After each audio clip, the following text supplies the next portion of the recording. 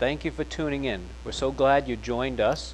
We're doing a special series of messages, and we're taking the time to record uh, our messages and put them up online so that as an assembly, Crossroads Bible Church, we can gather together in our own homes.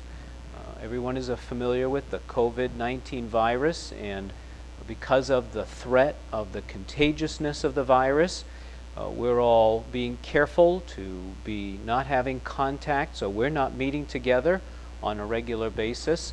And so we're producing and putting up online these messages so that we can all study God's Word together and continue to grow together. We're really looking forward to when we can all come back together and worship together. In the meantime, let's be looking in God's Word together, encouraging one another and seeking God's blessing each and every day. So let's get right to God's Word. Let's begin the message. I invite you to get your Bible if you don't have it, and I invite you to turn in your Bible to 1 Peter chapter 1. 1 Peter chapter 1, and uh, I'd like to ask you to follow along as I read the first 13 verses of chapter 1 of 1 Peter. 1 Peter chapter 1. Peter, an apostle of Jesus Christ, to the pilgrims of the dispersion in Pontus, Galatia, Cappadocia, Asia, and Bithynia, elect according to the foreknowledge of God the Father, in sanctification of the Spirit, for obedience and sprinkling of the blood of Jesus Christ. Grace to you and peace be multiplied.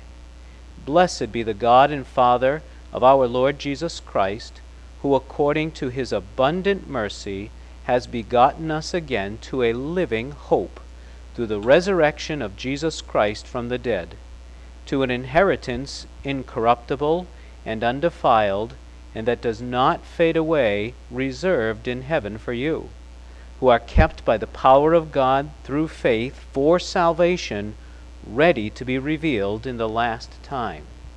In this you greatly rejoice, though now, for a little while, if need be, you have been grieved by various trials, that the genuineness of your faith, being much more precious than gold that perishes, though it is tested by fire, may be found to praise, honor, and glory at the revelation of Jesus Christ whom, having not seen, you love. Though now you do not see him, yet believing, you rejoice with joy inexpressible and full of glory, receiving the end of your faith, the salvation of your souls. Of this salvation the prophets have inquired and searched carefully, who prophesied of the grace that would come to you, searching what, or what manner of time, the Spirit of Christ who was in them was indicating when he testified beforehand the sufferings of Christ and the glories that would follow. To them it was revealed that not to themselves, but to us, they were ministering the things which now have been reported to you, through those who have preached the gospel to you by the Holy Spirit sent from heaven, things which angels desire to look into. Therefore, gird up the loins of your mind, be sober, and rest your hope fully upon the grace that is to be brought to you at the revelation of Jesus Christ. Let's look to God in prayer. Father, we thank you for your word. In times like these, when we face crisis, and we're facing this pandemic that is going across our land, indeed across the entire globe, people are uh, concerned about the illness that is so easy to catch, not knowing if they have it or if they will get it. And in these times of po- the potential for fear, we have your word, Father. Your word to lead us, to guide us, to give us truth, to give us instruction, to fill our hearts with comfort and assurance. And so, Father, I pray that as we look into your word this day, that your Holy Spirit will touch the hearts of each and every one of your children, strengthen the hearts of each and every one of your children, and equip each and every one of your children that we might be ready and we might be prepared and we might represent Jesus Christ, our Lord and Savior, in a way that brings honor to you. So bless now, Father, in our study together. I ask with great thanksgiving in the name of Jesus Christ. Amen. In verse 13, we read that we are called upon to rest our hope fully upon the grace that is to be brought to us. And that's what we want to consider this morning. What does it mean to rest our hope fully upon the grace that we will receive when Jesus Christ is revealed? In order to get to that point, we need to consider a little bit, not the entirety, but we want to consider a little bit of what is in this chapter together. Peter here is writing to the believers who have been dispersed and they've been dispersed because of persecution. And so Peter calls them pilgrims in verse 1. They are pilgrims. The King James uses the word strangers, and this word refers to one who comes from a foreign country to live in another country. And they've come to live in another country with the people who are natives of that country. And so, believers, uh, we're reminded that we are pilgrims in this world. In the first century, the believers had left Jerusalem and moved out to these regions abroad and were now living there. And, and so they were to be living in a foreign land as pilgrims. But their first citizenship now, as believers in Jesus Christ, was their citizenship of heaven, and that they were believers, citizens of heaven, children of God, and they were to represent their Savior. Well, even so, too, we are to represent our Savior, Jesus Christ, and we are looking for our heavenly home because Jesus is coming again. As we consider this, uh, a few thoughts from this chapter, what I want us to understand is that the believer in Jesus Christ is instructed by God to have a confident, healthy, biblical hope that is looking for Jesus Christ to, to understand that, I'm going to break it down into two parts. And the first part is we want to ask, Peter looks at here, what is happening to God's pilgrims? And then the second part is we want to look at together not only what is happening to God's pilgrims, but what are God's pilgrims to do? First of all, what is happening to God's pilgrims? Well, three things that Peter mentions here that I want to draw to your attention is number one, God's pilgrims have been born again to a living hope. And number two, God's pilgrims are presently being kept by the power of God through faith. And then thirdly, God's pilgrims are grieved by various trials. So, what is happening, or what has happened? Well, number one, uh, Peter's writing to believers. And these pilgrims have been born again, and they've been born again to a living hope. This is the same word that Peter uses in verse 23 of this chapter. If you'd look there, I'll begin in verse 22. Peter writes, Since you have purified your souls in obeying the truth through the Spirit, in sincere love of the brethren, love one another fervently with a pure heart, having been born again, not of corruptible seed, but incorruptible, through the Word of God which lives and abides forever. Peter here speaks of the believers as being born again, and he tells us that they've been born again through the seed, the incorruptible seed of the Word of God. To be born again is a one time act that takes place when a person places their faith and trust in Jesus Christ. They receive new life, and that new life we'll see as divine life. Well, there are two parts to this. Two parts. The first one is our part. We are to place our faith in the Word of God or the gospel. And when we do, we receive eternal life. Notice here in this first chapter, verses 18 through 21, where Peter writes of this salvation in these words Knowing that you were not redeemed with corruptible things like silver or gold from your aimless conduct received by tradition from your fathers, but with the precious blood of Christ, as of a lamb without blemish and without spot. He indeed was foreordained before the foundation of the world, but was manifest in these last times for you, who through him believe in God, who raised him from the dead and gave him glory, so that your faith and hope are in God. Peter writes here of our salvation in the words of redemption, and that redemption is based on the work of Jesus Christ on the cross of Calvary when he shed his blood to pay for our sins. We saw earlier in the chapter in verse 3 the resurrection of Jesus Christ. He arose from the dead.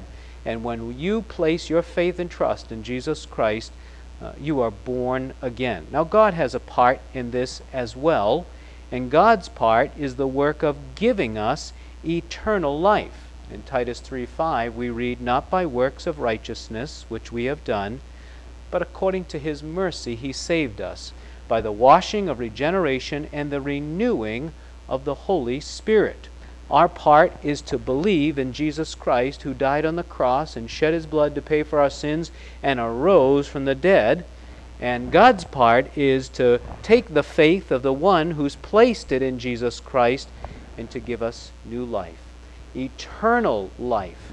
And uh, this life is divine life, God's life that he's given to us. Look in 2 Peter chapter 1. In 2 Peter chapter 1, verse 4, when Peter writes his second epistle, he has these words to say, by which have been given to us exceeding great and precious promises, that through these you, might, you may be partakers of the divine nature, having escaped the corruption that is in the world through lust. Peter's going to go on to talk about growing as a believer, but he talks about entering into that new life that we have, that new nature. And what is that new nature that we have received when we trusted in Jesus Christ as our Savior?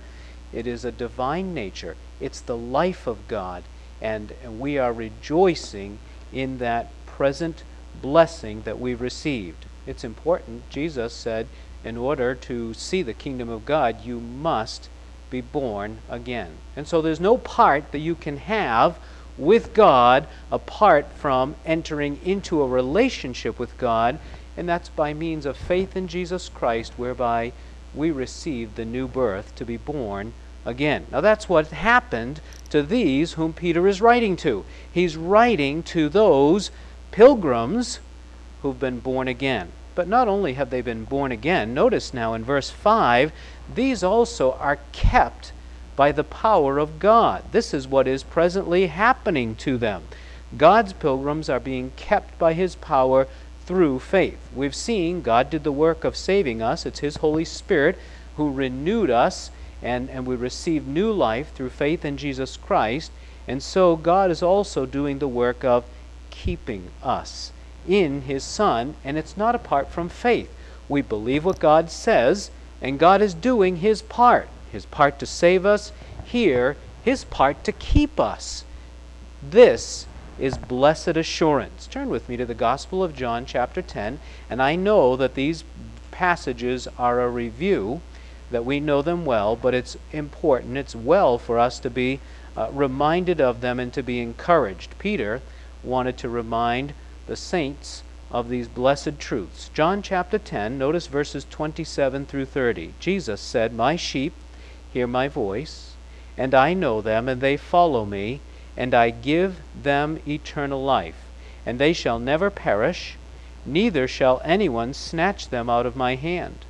My Father who has given them to me is greater than all, and no one is able to snatch them out of my Father's hand. I and my Father are one. What do we see in these verses? We see that Jesus gives eternal life to those who believe in him. Here, Jesus calls them his sheep. Peter speaks of pilgrims, Jesus speaks of sheep. And we also read, Jesus said, No one can take God's sheep out of his hand uh, believers in Jesus Christ are held in the mighty hand of our Savior, Jesus Christ, God. So we are kept by the hand of God the Father and Jesus Christ, because Jesus goes on to say, My Father, who has given them to me, who is greater than all, no one's able to snatch them out of his hand either. And so we are kept by the power of God in the very hand of God. Turn to Ephesians chapter 1. In Ephesians chapter 1, we read a similar expression of this same blessed truth. Ephesians chapter 1, verses 13 and 14. Here we read, In him you also trusted, that is, in Jesus Christ, after you heard the word of truth, the gospel of your salvation, in whom also, having believed, you were sealed with the Holy Spirit of promise, who is the guarantee of our inheritance until the redemption of the purchased possession to the praise of his glory. Here we read that God has placed his seal upon the believer in his own Son, Jesus Christ. That is, when you trusted in Jesus Christ as your Savior, you heard the gospel, Christ died for your sins, and that he shed his blood to pay for your sins, he was buried and rose again, and you believed, then God not only gave you to new gave you new life, he also sealed you. And that seal we're told in this passage, is the third person of the triune Godhead. The Holy Spirit of God has come to live within your heart.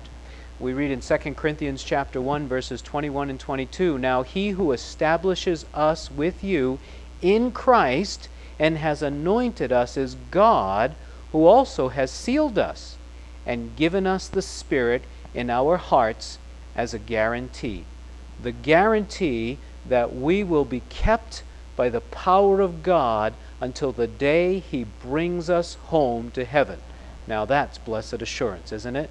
We can rejoice that God is going to keep those who have placed their faith and trust in Jesus Christ. So pay attention to this now. Our eternal security is a demonstration of God's power. Go back with me to 1 Peter chapter 1. It is God's power that is keeping us in Jesus Christ and will never lose us. He'll never let us go. The same power of God is on display in keeping those who believe in Jesus Christ that was on display when God created the world. In the beginning, God created the heavens and the earth. That same creative power of God is keeping his children in his mighty hand.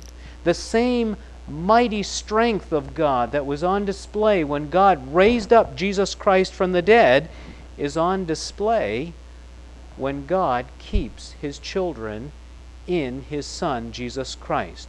God raised Jesus Christ up from the dead and displayed his mighty power, and he's displaying his mighty power by keeping us in his Son, Jesus Christ. He'll never let us go. And what are we to do? Believe we are to continue believing that what God has said He will do, He is in fact doing for His own glory. Number one, what has happened? We've been born again through faith in Jesus Christ. Number two, what has happened? We are being kept by the power of God through faith in Jesus Christ. Number three, what is happening? Well, here in 1 Peter chapter 1 verse 6 we see that in the first century the believers were grieved by various trials. Well, they were grieved by the trials of persecution for their faith in Jesus Christ. Some of them kicked out of their homes, kicked out of their families, kicked out of their communities, even having to flee their own country. They were facing grievous trials. Well, today we are facing a crisis, a trial, and it's of pestilence. pestilence. That's easy for me to say pestilence. Um, now, I want to be careful here because this is no comparison to the first century. As we face the virus, COVID 19, which has become a pandemic, and it is changing our lives. That's why I'm doing these videos and posting these messages online. Our lives are being changed by this pandemic that is facing our nation. Really, that's nothing compared to what the first century believers were facing because they were in threat of being beaten, imprisoned, torn from their homes, some of them put to death for their faith in Jesus Christ. Nonetheless, we are indeed facing a crisis of pestilence, and it is an unknown, it is an unseen enemy. It is extremely contagious, and it does have the potential to take lives. That's why there's such caution and such extreme measures that we're willing to take, and that our governor has told us to take, even our president, President Trump, asking us to quarantine willingly so that we can keep the spread of this contagious uh, virus from going out of hand. Well, uh, it has the potential to take lives, especially those who have any respiratory weaknesses or illness, those who are aged, and also those who have a compromised uh, um, immune system. Uh, that can be very dangerous to them as well. It was interesting to me uh, a quote by Martin Luther uh, from when he was going through a time when they were facing the Black Plague. It was deadly there in Europe, and uh, Martin Luther wrote these words at that particular time. I'd like to read them to you. Uh, again, I'm not comparing COVID 19 to the Black Plague. Uh, to this point, there's no comparison at all. Uh, and yet, the words that Martin Luther said and wrote are applicable to what we're facing today. Listen to what Martin Luther said. Very well, by God's decree, the enemy has sent us poison and deadly offal. Therefore, I shall ask God mercifully to protect us. Then I shall fumigate, help purify the air, administer medicine and take it. I shall avoid places and persons where my presence is not needed in order to become contaminated, in order to not become contaminated, and thus perchance infect and pollute others. Does that sound familiar? Uh, Martin Luther went on to say, and so cause their death as a result of my negligence. If God should wish to take me, he will surely find me, and I have done what he has expected of me. And so I am not responsible for either my own death or the death of others. If my neighbor needs me, however, I shall not avoid place or person, but will go freely as stated above. See, this is such a God fearing faith because it is neither brash nor foolhardy and does not tempt God. Moreover, he who has contracted the disease and recovered should keep away from others and not admit them into his presence unless it be necessary. Though one should aid him in his time of need, as previously pointed out, he in turn should, after his recovery, so act toward others that no one becomes unnecessarily endangered on his account and so cause another's death. Whoever loves danger, says the wise man, will perish by it. Those words sort of ring clear, don't they? A lot of what Martin Luther said is very applicable to us today, and we are wise, I believe, to take such measures to be careful. Well, we've seen from chapter 1 what has happened to the pilgrims. They were born again through faith in Jesus Christ. That's how they became a pilgrim, a sojourner, and they were persecuted for their faith. Number two, they were being kept by the power of God. Blessed assurance, eternal security. They would never lose their salvation because God is keeping them. And number three, they were in the midst of grievous trials. They were facing trial and difficulty. Now we want to see what were they to do? What were the pilgrims to be doing in the face of these trials, especially? Well, number one, we see in verse 6 and in verse 8, they were to rejoice. The first things that they were to be doing, the first thing that they were to be doing, was to be rejoicing in the very face of what they were facing. And they could do that because they're rejoicing in the face of what God has done.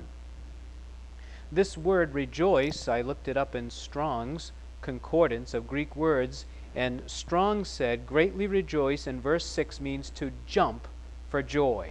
Think about it. In the midst of grievous trials, Peter is saying in verse 6, In this you jump for joy. Are you jumping for joy over COVID 19? We're tempted not to, aren't we? We're tempted to be discouraged. We're tempted to be dissatisfied. We're tempted to say, I don't really like this, or I don't want that change. I didn't want this to happen. I want everything to go back to normal.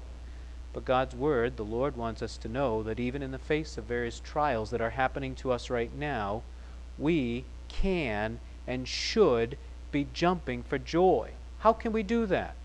Well, the answer is we should be looking for our blessed hope. Notice in verse 7 that the genuineness of your faith, being much more precious than gold that perishes though it is tested by fire, may be found to praise, honor, and glory. When?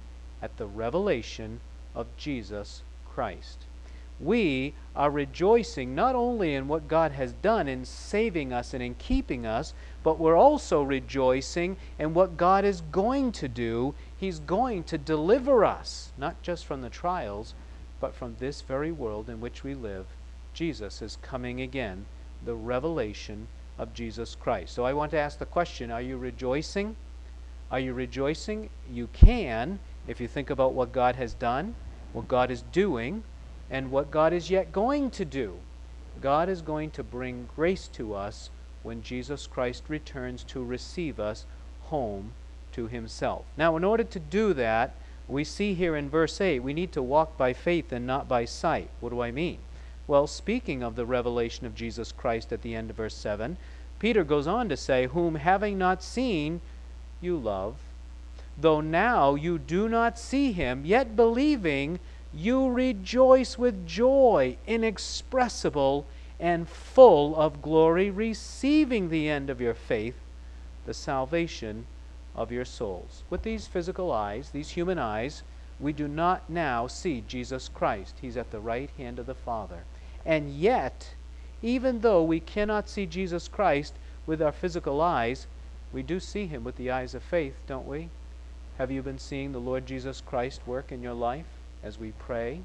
as we're trusting in the Lord, as we're looking to Him in obedience to His word, we see the hand of God working in our lives, but it's by faith that we see the Lord Jesus Christ and what He's doing in our life as we look to Him and trust in Him. It is a genuine expression of our faith to be looking for the fact that Jesus Christ is coming again. Our blessed hope. Jesus is coming, the rapture to receive us to himself and to take us home to heaven. And so, it is true. Jesus is the unseen guest at every meal. Jesus is the unseen guest at every single event or happening. And I want us to be thinking about that. I want us to be remembering that as we are quarantined in our homes, who's the unseen guest with you? It's the Lord Jesus Christ. And if you are conscious of that truth, you can be rejoicing, jumping for joy. Listen, the virus can't touch you except that God is bringing it into our lives for his purposes. If I get if I get this virus, if you get this virus, it's because God has brought it into our lives. And God will give the grace that we might be a testimony for him. Remember, the Apostle Paul had this testimony. For to me, to live is Christ, and to die is gain. So whether we die or whether we live, it is Jesus Christ who is to be honored. Would you agree with me that Paul was looking with the eyes of faith? Jesus was very visible in every single action and event in the life of the Apostle Paul. And so Paul had confidence and assurance, and he had rejoicing. Remember, later on in that same book of Philippians, the Apostle Paul said, Rejoice in the Lord always. And again, I say, rejoice. Number one, we are to be rejoicing. And we are to be rejoicing even though we cannot see with our physical eyes, we see very clearly with our spiritual sight because we walk by faith, not by sight. Believing, we rejoice with joy that is inexpressible and full of glory because we can see what God has promised and He will bring it to pass. Number two, we see now in verse 13. Number one is we are to be rejoicing. Number two, we are to be also girding up the loins of our mind. Notice in verse 13, Peter says, Therefore, gird up the loins of your mind and rest your hope fully upon the grace that is to be brought to you at the revelation of Jesus Christ. The second thing that we are to be doing, God's pilgrims are doing, is in verse 13. Look at verse 13 with me. Therefore, gird up the loins of your mind, be sober, and rest your hope fully upon the grace that is to be brought to you at the revelation of Jesus Christ. Secondly, God's pilgrims are to gird up the loins of their mind. This phrase is a figure of speech, and they were, in the first century, they would wear long robes, and they would, when they were ready to work or do some kind of an activity where they needed freedom, uh, they would tie up their robe around their waist, and this would enable them to run, to work, to do whatever they needed to do without any hindrance or encumbrance. Now, why is Peter using this phrase? What does he mean by that? Remember, now they are experiencing grievous trials. And in the light of these grievous trials, they're not only to be rejoicing, but number two, uh, Peter wants them to be ready, to be ready for the Lord's coming, and to be ready to serve the Lord in the light of the Lord's coming. And what Peter, I believe, is saying here is he wants them to avoid panic. He wants them to avoid the distraction of the very trials that they are facing. The trials that a believer faces should not distract them from our heavenly purpose or our heavenly goal. And so we are to gird up the loins of our mind. Notice that last word, mind. And, and so Peter's talking about their thinking the, the thoughts that they have. What Peter is saying to the pilgrims here is they need to be strong. They need to be composed in their thoughts. They need to be in a state of readiness to serve the Lord. Now, that's something to consider, isn't it? Uh, we can allow the events of life that are going on to affect us so that we are incapacitated because we're full of panic or fear. Or we can compose our thoughts with the truth of God's Word, with these principles that we're going to see in this chapter, focus our attention on the Lord, and gird up the loins of our mind, that is, to put our mind in a state of readiness, a state of preparedness, so that we can serve the Lord. So Peter said, Be ready, be composed in your thinking. The way we think about what is happening all about us needs to be dictated by the truth of God and not the emotions that I may have or the actions or interactions that people have in the world. I need to be thinking upon Christ. I need to have my thinking securely founded in the truth of God's Word and have my thinking shaped by the truth of God's Word so I can be composed and I can be ready. Number three, we see in verse 13 that not only are to believers gird up the loins of their mind, but they're to be sober. The word here for sober is the opposite of hysteria. We are to be stable and we are to be poised in our spirit. If we are to give in to all of the panic that's going on around us, then we are not properly prepared to be a witness for Jesus Christ. To understand that Peter's pointing out, a, or I should say, placing a, a high emphasis, a supreme importance upon the fact that our thinking is key to our readiness. If we don't control our thoughts, then we will be affected in the wrong direction. We need to be careful to be thinking properly. Gird up the loins of your mind and be sober. That is, be composed in your thinking and be poised and stable in your spirit. Now, how can we do that? Well, I want to remind us of what the Lord Jesus Christ said in John 16:33.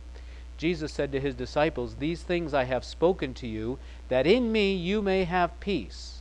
In the world you will have tribulation, but be of good cheer, I have overcome the world." When we remember that our victory is in Jesus Christ, and when we remember that we have peace in Him, in Jesus Christ, then we can focus our thoughts and attention on the Lord Jesus Christ. And what do we do if we're struggling with our thoughts? Never forget Philippians chapter 4, verses 6 through 8. Be anxious for nothing, but in everything, by prayer and supplication with thanksgiving, let your requests be made known unto God. And then God will give us that peace. The peace that passes all understanding, that peace that will guard our hearts and minds through our Lord Jesus Christ. As pilgrims, we are to be sober. We are to be girding up the loins of our mind so that we can represent the Lord Jesus Christ in the midst of all these trials or in the midst of panic and problems. The believer is to be composed and to be uh, in that place of stable poise so that they can present Jesus Christ to a world that potentially is going crazy. We want to represent our Savior. Lastly, number four, God's pilgrims are to be hoping to the end. Peter says, Hope fully, rest your hope fully upon the grace that is to be brought to you at the revelation of Jesus Christ. Now, this word hope, I've said it before, but we've got to go over it again. We've got to remember the difference between what is biblical hope and the hopes of men. Biblical hope is a confident expectation. A biblical hope is based on God's holy word. What has God said? When I know what God has said, I can trust in His word that He's going to bring it to pass. I'm expecting God to do exactly what He said He's going to do. You got it? That's faith. And I can have hope and I trust in God's word. Confident expectation. Now, that's very different uh, from the hopes of men. We do not hope like others hope. Uh, today, you'll hear things like this I hope that this COVID 19 won't really be bad. I hope that I don't get sick. I hope life will go back to normal. I hope I can go back to work. I hope I can get together with my friends. I hope that my loved ones will not get sick. It just goes on and on and on. But these hopes of men are vain hopes because they're based on the unknown. We really don't know what will happen in any of these circumstances. But for the believer in Christ, it doesn't matter what happens because we have the Lord Jesus Christ. We have Him. We are in Christ. Christ is in us, and He has promised to what? Well, God's Word tells us that He will be a shield to all those who trust in Him. And so when we trust in the Lord, He will watch over, He will protect us, and whatever happens to us, good, bad, God will take care of us because He wants to manifest His presence and His power in the person of His Son in each and every one of His children who are pilgrims here on this earth. Well, here in this verse, Peter specifically speaks that we are to hope in God's grace. Grace is God's favor. When will we receive that favor? In a very special way, we will experience God's favor when Jesus Christ comes again, at the revelation of Jesus Christ. Have you noticed that this has been a theme here so far in the first chapter? Here in verse 13, the revelation of Jesus Christ. Back in verse 7, at the revelation of Jesus Christ. Earlier in verse 5, we are ready to be revealed in the last time. That's the revelation of Jesus Christ. And this word revelation means the unveiling, the unveiling of Christ. And it's speaking about Jesus' second coming, which has two parts to it. The rapture, as I've already been speaking about, when Jesus Christ comes to the clouds and there's a trumpet sound and the shout, and there's a mighty resurrection of believers in this age, followed by uh, a catching up of those who are alive in Jesus Christ to meet him in the air so that we can forever be with the Lord. The rapture, as revealed in 1 Thessalonians chapter 4, verses 13 through 18. But it also refers to when Jesus returns to earth to establish his kingdom. In Colossians chapter 3 verse 4 we read, "When Christ, who is our life appears, then you also will appear with him in glory." When Jesus Christ returns for the rapture, believers will be caught up to be with him to go home to heaven, and then we will return with him to this earth when Jesus Christ establishes his kingdom. Now think about that. there is a great hope when we think about being with our Lord forever. That's why Jesus said in John 14 to his disciples, Let not your heart be troubled. You believe in God, believe also in me. Jesus said he would go to prepare a place for us, and he would come again and receive us unto himself, that where he is, we will also be there together with him. This is our hope. And we can confidently expect God to do exactly what he said he's going to do. Jesus Christ will return to receive him, us to himself. Well, here Peter's telling us we are to be confidently expecting that. The same thing the Apostle Paul spoke of when he said, For the grace of God that brings salvation has appeared to all men, teaching us that denying ungodliness and worldly lusts, we should live soberly, righteously, godly in this present age, looking for that blessed hope and glorious appearing of our great God and Savior, Jesus Christ. So we see here in Titus chapter 2, God's word is telling us that we're to be looking for the rapture, the blessed hope of the believer. Jesus is coming again. It's a comforting hope, it's a blessed hope, it's a present reality. We're confidently expecting what God has said. He's coming again. Well, Peter is telling us in uh, chapter 1 in verse 13 that we are to be confidently looking for the grace that will be brought to us when Jesus Christ comes again. Well, here's what I would like to really uh, leave us with uh, this morning.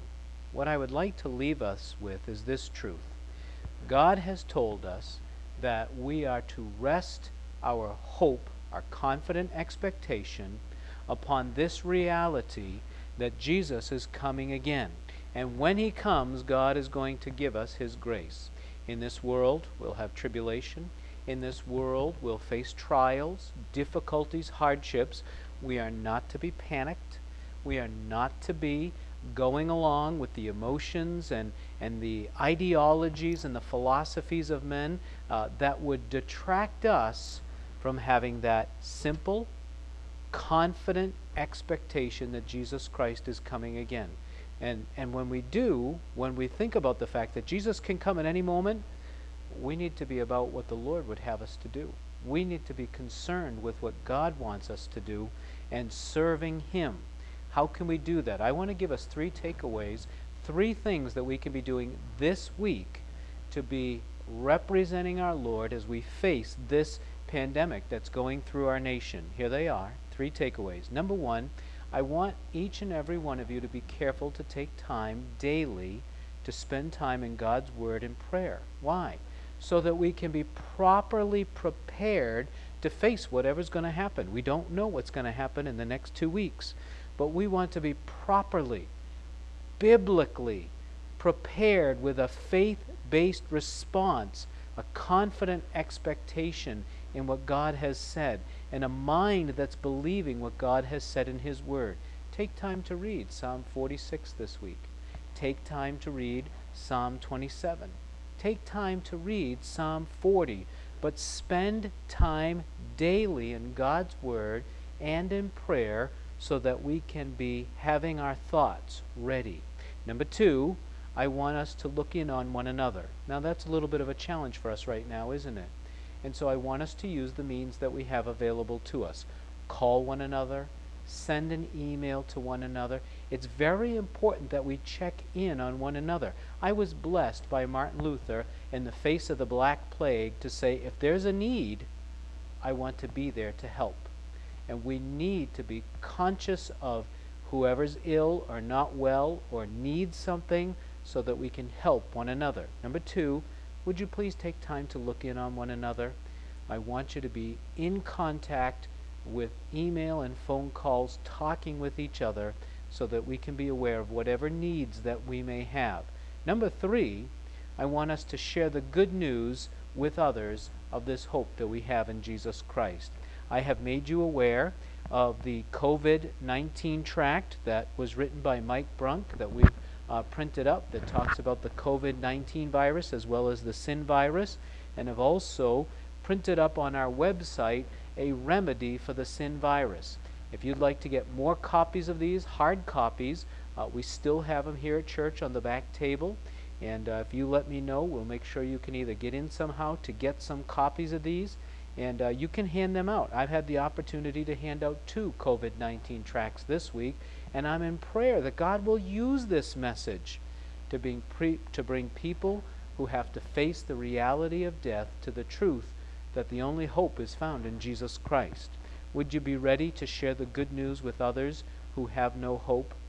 I pray that we will. I pray that we'll be in God's Word that we'll be looking in on one another and we'll be sharing the good news of salvation with Jesus Christ this week. And then call and tell each other the opportunities that you've had.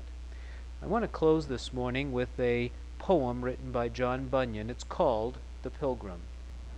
Who would true valor see? Let him come hither. One here will constant be, come wind, come weather. There's no discouragement shall make him once relent his first avowed intent to be a pilgrim. Whoso beset him round with dismal stories do but themselves confound. His strength the more is. No lion can him fright, he'll with a giant fight, but he will have a right to be a pilgrim. Hobgoblin nor foul fiend can daunt his spirit. He knows he at the end shall life inherit.